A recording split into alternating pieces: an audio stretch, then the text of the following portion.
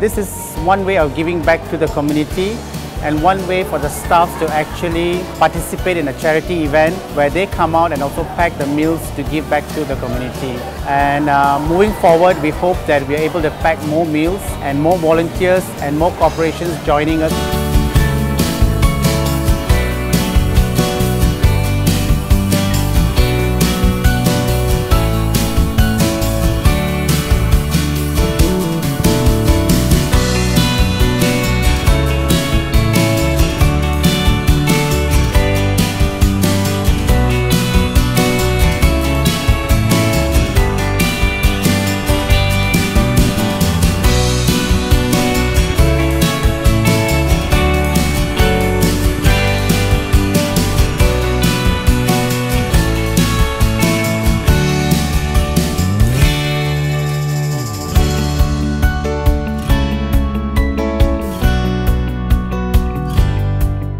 Our CSR covers a lot of other things, but this is just one of the many things that we've done to cover the 17 goals that uh, we strongly believe in.